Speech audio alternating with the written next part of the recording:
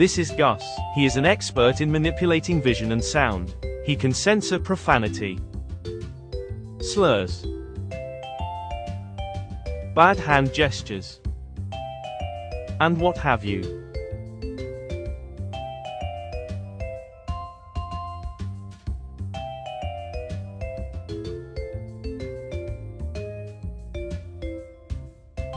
Gus only censors things that need to be censored. Be more like Gus.